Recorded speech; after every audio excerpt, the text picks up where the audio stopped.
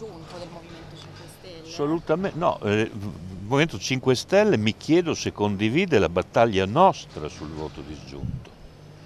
È evidente che il voto disgiunto è il, il punto basico del cosiddetto sistema tedesco. Cioè non è che votando una persona ti tiri il voto fino sul simbolo e sul listino dei nominati, è una cosa.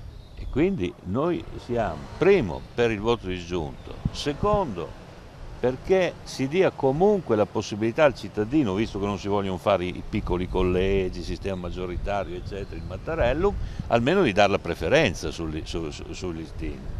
Perché se no facciamo proprio ingoiare agli elettori il 70% del Parlamento. Ma vogliamo scherzare?